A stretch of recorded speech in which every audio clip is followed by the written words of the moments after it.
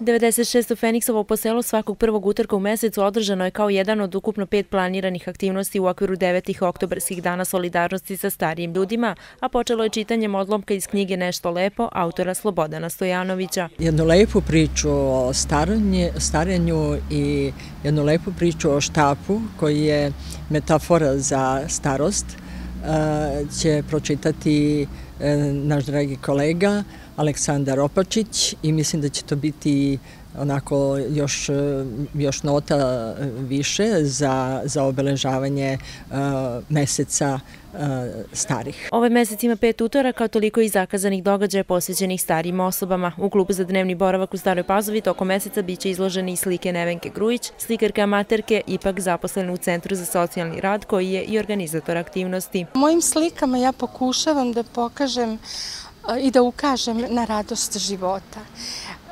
Mnogi su me pitali zašto tako žive boje.